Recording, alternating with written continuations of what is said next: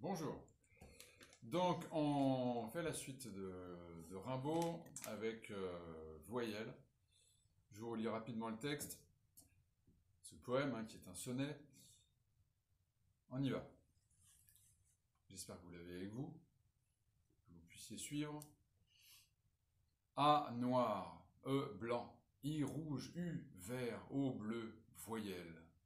Je dirai quelques jours vos naissances latentes. A Noir corset velu, des mouches éclatantes qui bombinent autour des puanteurs cruelles. Golfe d'ombre. E, candeur des vapeurs et des tentes, lance des glaciers fiers, roi blanc, frisson d'ombelle. I, pourpre, sans cracher, rire des lèvres belles dans la colère ou les ivresses pénitentes. U, cycle, vibrement divin des mers virides, paix des pâtisses semées d'animaux, paix des rides que l'alchimie imprime au grand front studieux. Ô suprême clairon plein de strideurs étranges, silence traversé des mondes et des anges, ô l'oméga, rayon violet de ses yeux. Bien, alors un poème extrêmement célèbre, qui a lui aussi beaucoup influencé la poésie. Euh, première question, donc euh, en, vous aidant du texte 3, donc alchimie du verbe qui est en dessous, peut-être qu'il faudrait le relire aussi d'ailleurs, ainsi que de la lettre du voyant que nous avons étudié précédemment, expliquez quel projet poursuit Rimbaud dans ce poème. Alors, ce qui est intéressant, c'est que dans Alchimie du verbe qu'il a écrit plus tard, dans Une saison en enfer, il explique un petit peu son projet. Donc on va commencer par lire justement cet extrait d'Alchimie du Verbe. Alors je ne sais pas si je vous avais mis l'introduction. Euh, non, je ne vous ai pas mis l'introduction. Donc je vais vous la lire. Euh, Alchimie du Verbe. Ce passage d'une saison en enfer expose avec une remarquable clarté l'expérience surhumaine tentée par Rimbaud. Il aide ainsi à pénétrer le secret des vers de 1812, 1872 euh, pardon, et des Illuminations, un autre recueil de Rimbaud.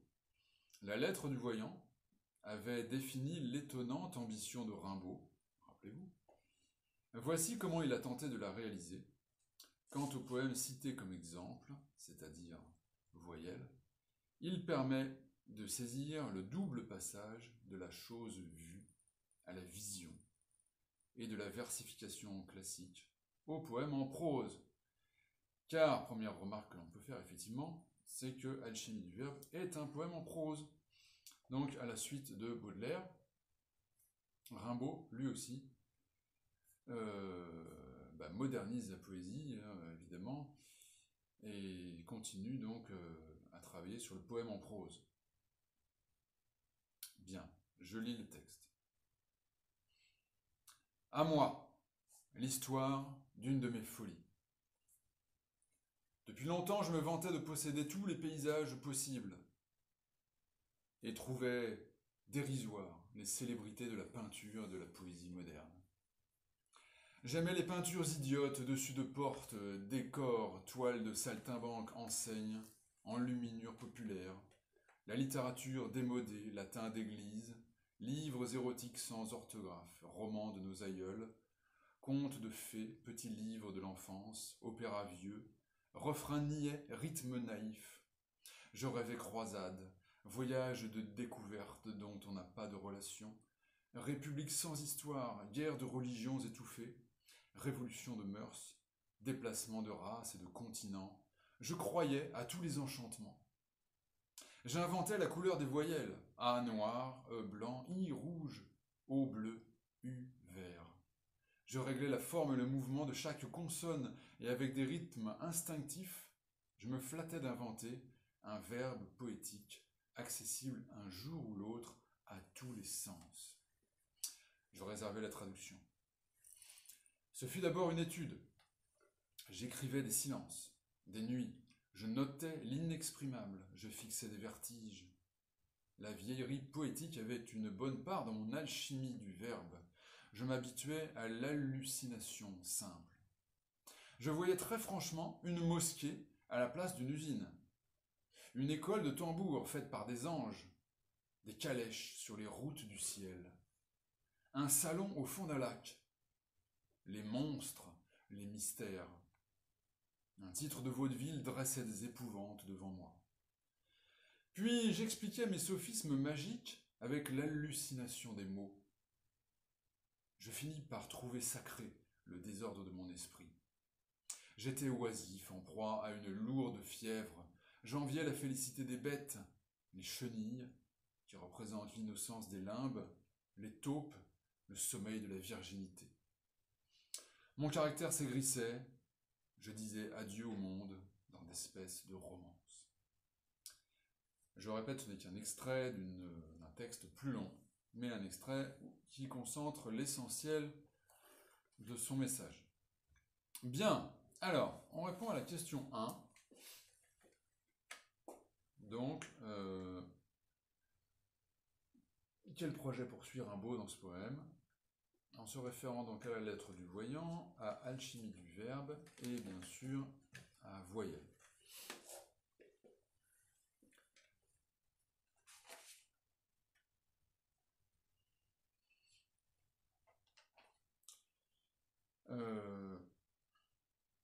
En fait, je m'aperçois que j'ai répondu, euh, oui, en fait, j'ai répondu aux deux questions directement. c'était le plus, c'était le plus logique. Euh, donc, je vous fais un grand, un grand cours où il y a les deux questions. Voilà, comme ça, les deux sont réglés. de toute façon, les deux sont tellement liés que c'était difficile de, de distinguer les deux. Alors, donc, question 1 et 2, directement. Allez, on y va. Dans ce poème, Rimbaud met en application euh, le projet annoncé dans la lettre du voyant de créer une nouvelle langue, résumant tout par fin, son, couleur. Vous vous rappelez? Et poursuivant et approfondissant la conception baudelairienne des correspondances. On l'a déjà dit, vous mieux le répéter, au moins vous vous en rappellerez.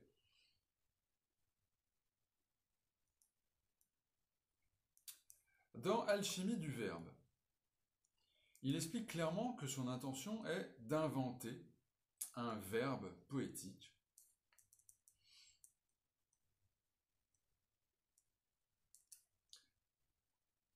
inventer un verbe poétique accessible un jour ou l'autre à tous les sens. Ça, c'est quelque chose que vous pouvez surligner aussi dans votre texte.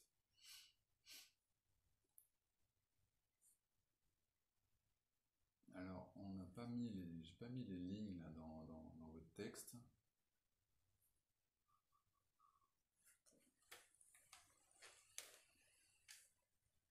Mais vous retrouverez, hein, il n'y a pas de lignes mais en plus moi j'ai pas les mêmes. Donc vous retrouverez ça. De toute façon c'est pas très long, donc vous allez trouver ça facilement. Donc je répète, hein, c'est euh, euh, je me flattais d'inventer un verbe poétique accessible un jour ou l'autre à tous les sens. Je c'est dans le centre du texte.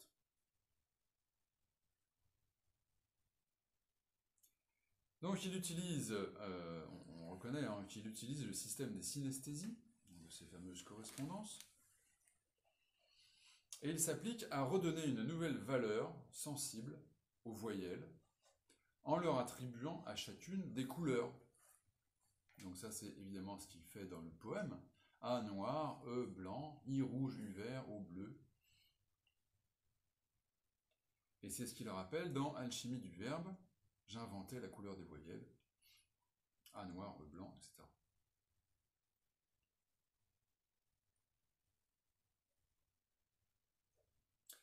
Les voyelles, dès lors, ne sont plus seulement des sons, elles s'adressent aux autres sens. Hein, c'est le principe des correspondances, elles s'adressent aux autres sens qu'elles doivent éveiller tout autant que l'ouïe.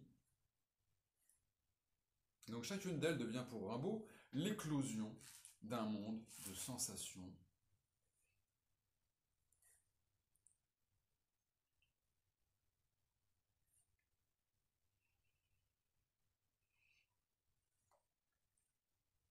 Par exemple, le A est associé à la couleur noire.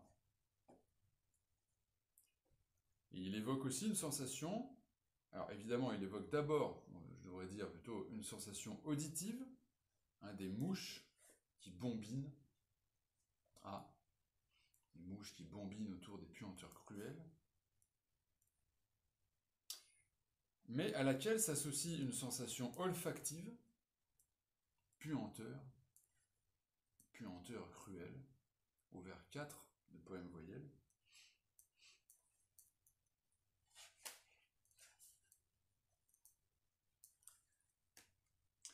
Et puis peut-être même une sensation de, toucher avec le corset velu, un peu répugnant.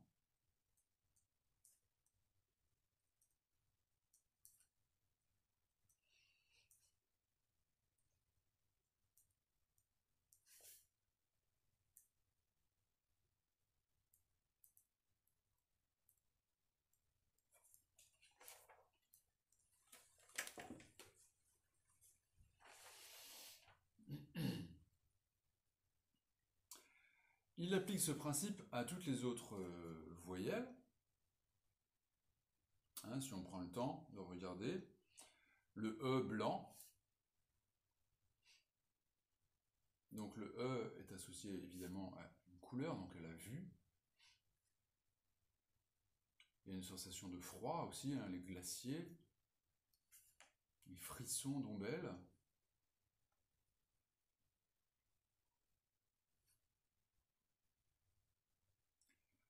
Et on peut voir ça donc avec toutes les autres, hein, le rouge, le i rouge évidemment, le sang, la vision du sang, mais aussi donc une sonorité du rire, la sensualité des lèvres.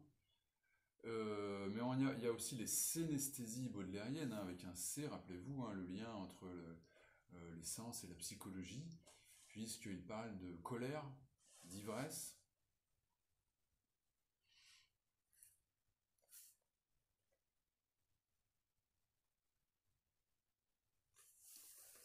bon,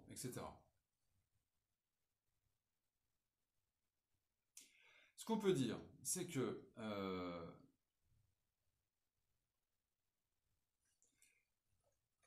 Rimbaud va quelque part plus loin que Baudelaire, puisque c'est la langue elle-même, ce n'est plus seulement les images, c'est la langue elle-même euh, qui devient l'univers vivant des synesthésies.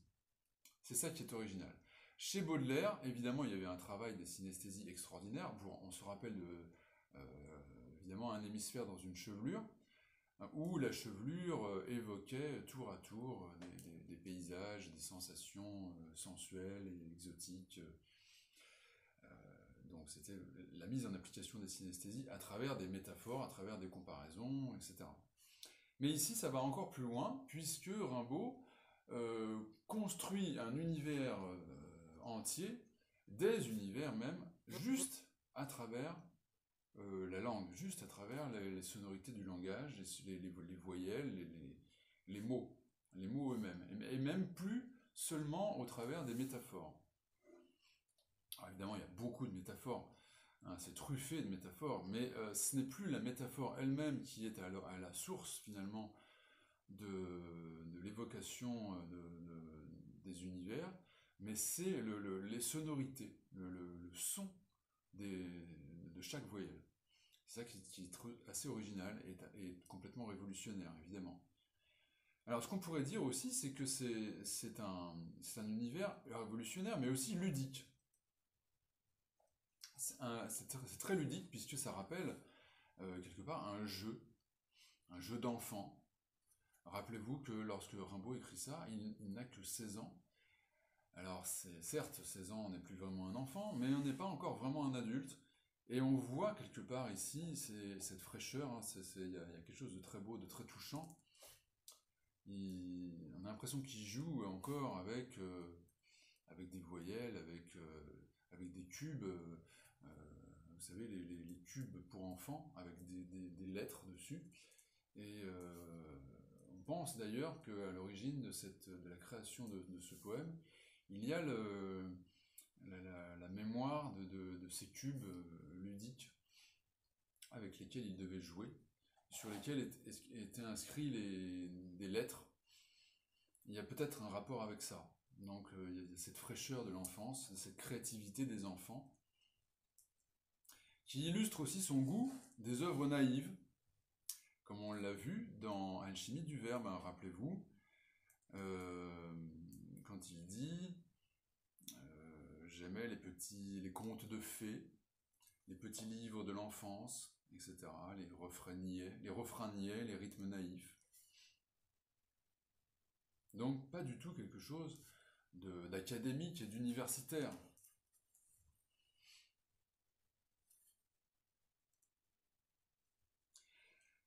Or, ce jeu d'enfant aboutit à libérer la langue de son carcan, de son carcan académique.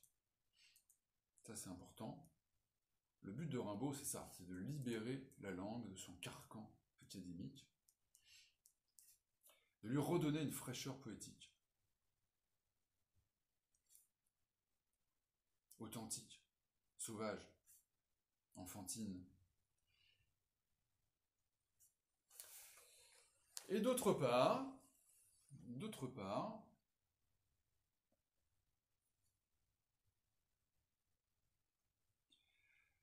euh, on peut dire que c'est une véritable expérience d'alchimie, comme le suggère évidemment euh, le texte Alchimie du Verbe. Alors pourquoi d'alchimie? Alors d'abord il faudrait rappeler ce que signifie alchimie. L'alchimie est l'art ésotérique, un, un art un peu mystérieux, de transformer le plomb en or. Ça, c'est la première, première définition, la plus primaire, on va dire. Or, qu'est-ce que ça veut dire transformer le plomb en or de manière générale? Ça veut dire transformer ce qui est vulgaire, ce qui est lourd, ce qui est grossier, en quelque chose de subtil, de beau, de magnifique, de lumineux, ou même peut-être de trouver la lumière dans ce qu'il y a de, de plus terne, de plus obscur. Rappelez-vous, c'est bien ce que cherche le poète en se faisant voyant. Hein. C'est ce que cherche Rimbaud, ce que cherche Baudelaire, c'est ce que cherche Victor Hugo déjà à travers l'analogie, les, les correspondances. Or, ici, le plomb, on peut dire que ce sont les mots. Le plomb, ici, c'est le plomb des mots dont le, sens habituel, le sens commun des mots, qui est rendu lourd, qui est rendu opaque par l'usage ordinaire, par l'usage vulgaire qu'on en fait tous les jours. On dit des choses sans, finalement, euh, sans, sans, plus jamais prendre conscience de la signification des mots. Et le poète, lui, a pour tâche, justement, de retrouver la magie de ces mots, de leur redonner leur vigueur, leur vitalité, leur sens.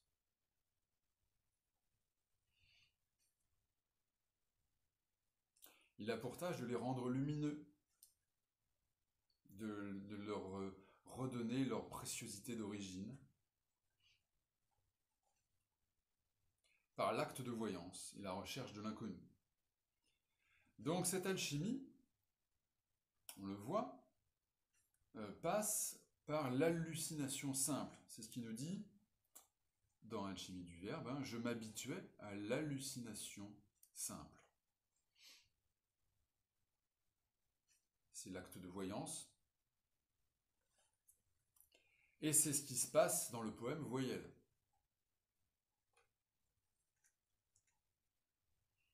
Hein, avec les associations euh, incongrues euh, d'images très éloignées, qui laissent finalement se déployer euh, à travers chaque voyelle. Hein. Chaque voyelle, finalement, évoque des hallucinations, des images incroyables, sans lien entre elles, sans lien logique entre elles.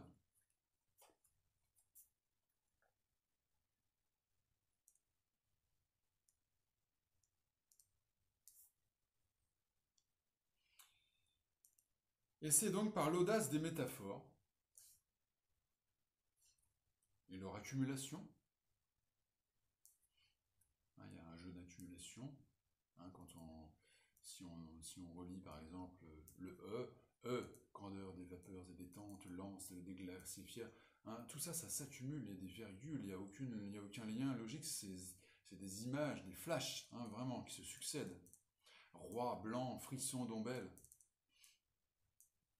Même chose pour le i, pourpre, sang, cracher, rire des lèvres belles, etc. etc. Hein. Donc c'est par l'audace de ces métaphores qui se succèdent, qui jaillissent librement, que Rimbaud parvient au fameux dérèglement de ses sens. Rappelez-vous, hein, c'est ce qu'on avait vu dans la lettre du voyant, le long, immense et raisonné dérèglement de tous les sens. Donc c'est par là qu'il parvient aussi au désordre, ce désordre sain, dans, les deux sens du mot, sain, S-A-I-N et S-A-I-N-T, désordre au sein de son esprit, qui lui permet de révolutionner la poésie et de lui donner une signification supérieure. Ce fameux désordre, hein, j'y ai fait allusion aussi parce qu'il est présent dans l'alchimie du verbe, dans le texte, vers la fin. Je finis par trouver sacré le désordre de mon esprit. Bon, euh, on a dit beaucoup de choses, hein, euh, y aurait encore beaucoup de choses à dire sur voyelle, évidemment, c'est très très riche. Mais je crois qu'on va pouvoir s'arrêter là, ça suffit, ce sont des textes complémentaires. Alors essentiels quand même, puisque vous voyez que ce sont des textes euh, incontournables et que connaissent euh, Apollinaire et les surréalistes, et est difficile d'étudier le surréalisme sans, avoir euh, abordé ces textes-là de Rimbaud. Mais je pense que ça suffira. Hein, pour, pour vous, ça suffira largement. Allez, au revoir et à bientôt. Bon courage